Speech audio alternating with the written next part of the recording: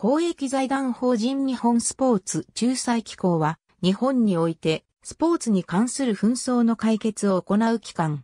スポーツ法学の研究、一般への啓発活動も行っている。2003年4月、日本オリンピック委員会によって設置された。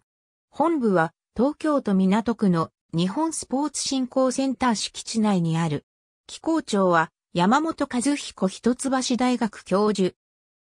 小木原健二など元スポーツ選手、スポーツ団体関係者が理事に就任している。1999年12月、スポーツでの紛争解決のための機関の設置を目的として日本オリンピック委員会の研究会、スポーツ仲裁研究会が設置される。機関設置のための具体的な準備として報告書の提出などを同研究会で行い、2001年には現在の日本スポーツ仲裁機構設置についての提言をまとめ、本格的な創設準備が進められた。2003年の設置後は、日本国内でのドーピング紛争などの仲裁、調停を主たる活動としている。2009年4月に一般財団法人化し、2013年4月に内閣総理大臣から公益認定を受け公益財団法人となった。